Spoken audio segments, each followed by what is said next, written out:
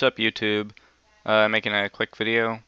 Uh, if you've upgraded from, I believe, it's either Yosemite or Snow Leopard, uh, one of those older Mac OSs, or if you just finally got a new one and you notice that the dock doesn't have the little magnifying effect like all the previous versions did. Because I know when I first got a Mac, I expected it because the only Macs that I'd ever used were uh, Snow Leopard and I think Mountain Lion, that kind of thing. So, uh, well, this is how you turn it on. Right click in the little uh, area between the downloads folder and all of the other icons, trash can, you know, that kind of thing, this little divider. Right click and click on dock preferences. And then um, magnification.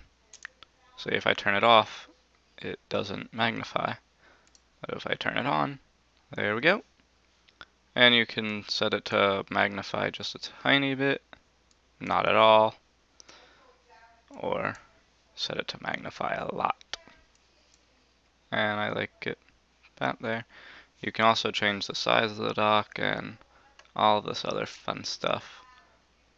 So, um, yeah. Uh, if you learned something, like.